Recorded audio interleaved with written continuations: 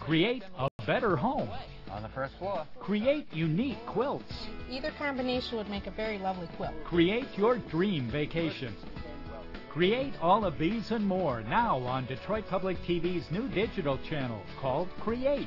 It's Public TV's classic how-to programming free over the air on digital channel 56.3 and on Comcast, Bright House, and Charter Cable.